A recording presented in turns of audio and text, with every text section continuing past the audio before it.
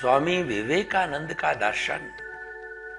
स्वामी विवेकानंद केवल 36 वर्ष तक जिए लेकिन 36 वर्षों में उन्होंने ऐसी फिलॉसफी दी जिसके कि डेढ़ सौ वर्ष अब मना चुके हैं।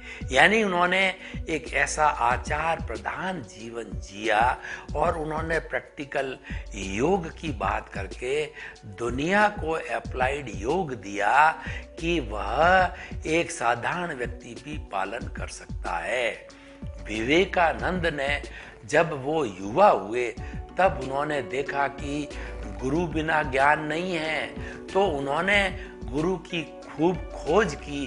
खोज करते करते वो कन्याकुमारी के मठ के अंदर आए वहाँ श्री राम जहाँ राम कृष्ण जो है परमहंस मिले, वो उनके गुरु बने। प्रथम दृष्टवा गुरु को शिष्य मिल गया और शिष्य को गुरु मिल गया।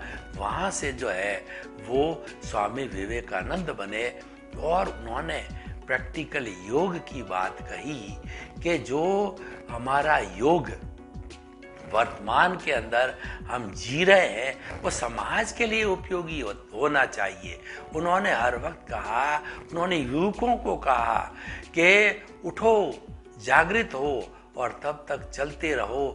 जब तक कि गंतव्य प्राप्त नहीं हो जावे तो उन्होंने जो हमारे युवकों के अंदर प्राण फूका, प्रैक्टिकल योग दे करके, और उन्होंने जो है, हमारी भारतीय संस्कृति को बहुत समृद्ध किया, और उन्होंने अठारह सौ चौरानवे के अंदर, जो शिकागो के अंदर, आज भी वो प्रवचन जो है, बहुत प्रसिद्ध है। भारत की छवि, भारत की साख को उन्होंने शिकागो अमेरिका के अंदर बहुत बड़ा बनाया।